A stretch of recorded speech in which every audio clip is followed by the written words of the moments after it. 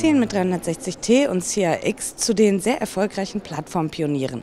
Welche sind Ihre wichtigsten Learnings aus diesen beiden Gründungen?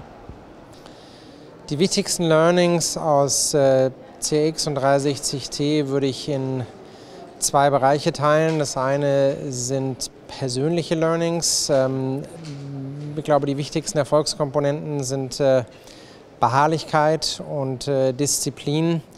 Zu Beginn dieser Gründungen äh, erfährt man viele Widerstände und die Beharrlichkeit ist, glaube ich, ein ganz, ganz wichtiger Faktor, um in anspruchsvollen Märkten mit anspruchsvollen Kunden dann auch erfolgreich sein zu können. Der zweite Teil bezieht sich auf das Produkt, das ähm, wir kontinuierlich immer weiterentwickelt haben.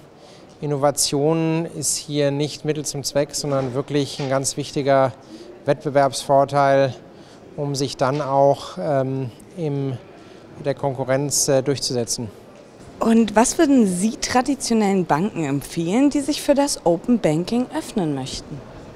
Risikofreudiger, experimentierfreudiger zu sein, die Offenheit zu besitzen mit ähm, vielleicht nicht ganz fertigen Produkten, ähm, Tests zu fahren, äh, kleinere Reagenzgläser sich zu nehmen und dort äh, Produkte und äh, neue Prozesse mit Kunden zu testen und dann erfolgreich zu sein, wenn es darum geht, diese Schnittstellen äh, skalieren zu lassen in äh, einmal äh, globalen Kontext, aber natürlich auch was das Produktportfolio anbetrifft.